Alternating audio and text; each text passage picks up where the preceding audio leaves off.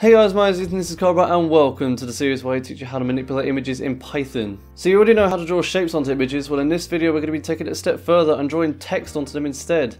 This is pretty much the same sort of thing, but there are a few differences with it, so I thought I'd make it a separate video. Of course, if you find the video helpful at any point, then make sure to hit the like button to let me know, and consider subscribing and hitting the notification bell so you don't miss out on future installments in the series. But with that out of the way, let's get into it.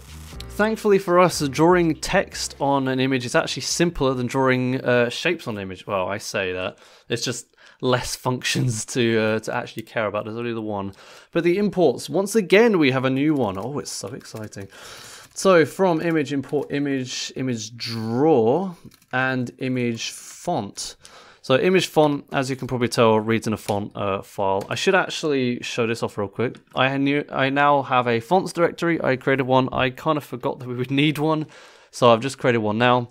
And I've just dumped the entire Fira Sans family in here. Uh, if you're not familiar with Fira Sans, it is the code, it is the font that I use for a lot of my branding.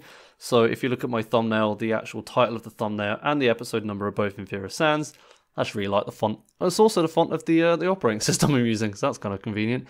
But yeah, I'm just going to use any of these. Uh, feel free to have or not have your own separate fonts directory. It doesn't bother me at all.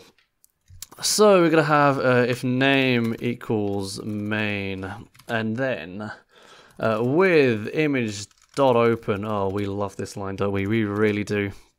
We cannot get enough of it. And we're going to have, ooh, you know, we're going to have the marina. We haven't had the marina yet. And we're going to have the marina.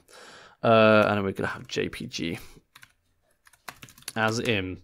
Uh, you know what? We're going to create an advertising poster for Swansea Marina. Hell yeah. Uh, so, what we need to do is do im equals add text, which we're going to create. And then we're going to pass in the, the image again. We're going to have hello world. We're going to just have that for now. And then um, 100 by 100 and then uh, 60. So I'll explain what all those things are now. So we can have def add text. We have the image, as you can tell, the text, that's the hello world. The position, I'm actually going to call it top left again. And the size. So the top left again is a tuple of coordinates and the size is simply an integer. Uh, I'm just leaving it as to what I've got in the plan for now. We can always adjust it as time goes on. So with the font, we can define font as image font dot true type. I believe there are open type stuff as well. I actually don't know. Uh, we're gonna do dot slash fonts slash and then oh God, what is it? I think it's Fira Sans dash regular dot ttf in my case. Just please note that this font does actually have to be on your system for it to work. If you don't have the font either installed or whatever, then uh, it's not going to work. I don't know if it can take system fonts which is why I have a separate fonts directory here. Uh, if you're on Linux, you can use the uh, tilde slash dot fonts to get your fonts from there. You don't have to do this, um, but Fira Sans isn't in that directory because it's an OS one, so that's why I'm just putting it here, and it just makes it easier. And in here, we're going to pass in a size. So this is the size of the font. This is the font face. Simple enough. Uh, and then we're going to have our draw context once again, image draw dot draw after that, we're simply going to put draw dot text uh, position. Well, we called it top left, didn't we? Uh, text font equals font, and then fill. Well, we can actually pass the color in here. Why? Why not? You know, we've done it for the others. We'll do it here as well, and I'll pass the color in there. And then uh, return. Do I need to do? No, I don't. Return im and then we'll have the color. We'll have we'll have it two five five two five five two five five. I don't think we need to pass an alpha in. We'll see. Uh, I guess we'll find out. And we're going to do im.save uh, dot slash saved images slash uh, marina with text. As you can see, I cleared out my saved images directory just to kind of try and clean things up a bit. Uh, so we're going to do Python tutorial 4 and we'll see if we get an error. We don't, so presumably it worked. Oh, there we go. You can't. Hang on. I'm going to change the color. Uh, so 0, 0, 0, and we're also going to make it bigger. We're going to make it 250 because I forgot the these images are enormous, the ones from my camera. There you go. So you can see in our in our Fira Sans font, again, this should be somewhat familiar to you. We have the word Hello World over a picture of Swansea Marine. This is actually one of my favourite pictures I've ever taken. I love that photo so much. Um, but yeah, as you can see, drawing text on images really is not that difficult.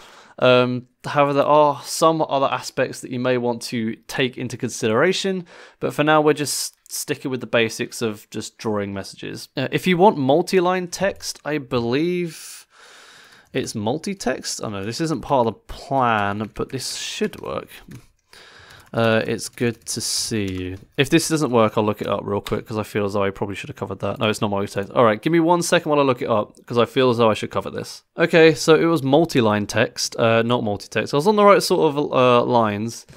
Um, but uh, yeah, not quite right. Interesting, I got it from a GitHub issue. This has been minus one. It says it doesn't. Uh, someone says it doesn't work. It does. It clearly does. It worked for me. Um, did I actually even show it off? There we go. Yeah, see? Hello world, it's good to see you. Put it on two lines. Uh, I believe if you try and do this with just a normal text, just realized I never actually tried this, so this may... you don't need multi-line text at all. I thought, okay, so you could just put a backwards in, or, or sorry, backwards in, um, backslash n. You don't need multi-line text at all, apparently. Okay, that clears that up.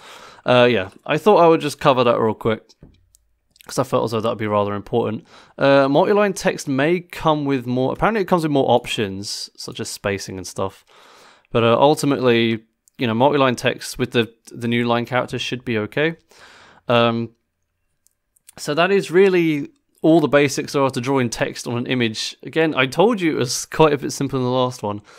Um, but yeah, if you do have any questions about what you've seen, then don't be afraid to leave a comment uh, or join the Discord server using the link in the description. But yeah, with that, I would like to thank my super patron Darkie and all of my other patrons for being as awesome as they are. And I will see you next time when we talk about applying filters to images.